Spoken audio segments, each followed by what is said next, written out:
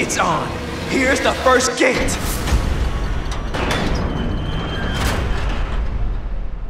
The desert plant!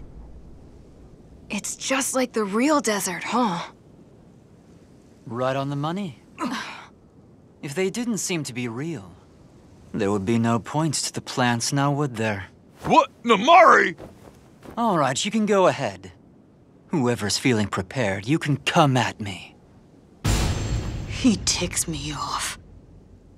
Do you mean it? Summoning Red Rope! You're an idiot! It doesn't matter if you hide in the sand! I can sense your whereabouts by detecting the spiritual power! You wanna get zapped! Heaven shaking thunder!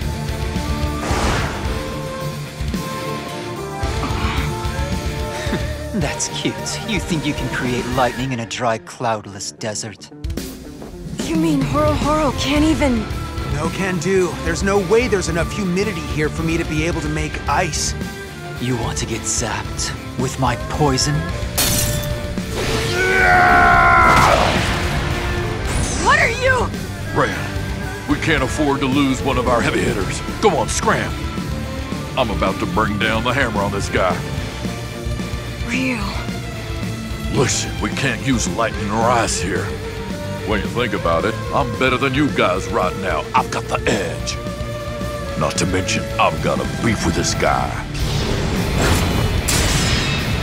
I should be the one handling this. It just makes sense. Wait, he's got an armored oversoul? When did Ryu manage to get that?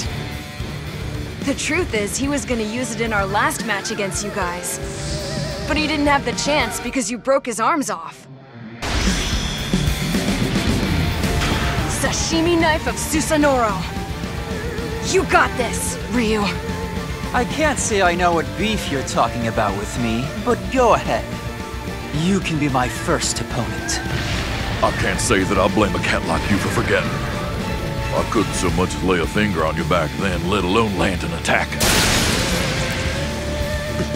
I think I'm gonna leave an impression on you after this. Compliments of the future head chef at Funbari Hot Springs, the Ultra Filet Technique!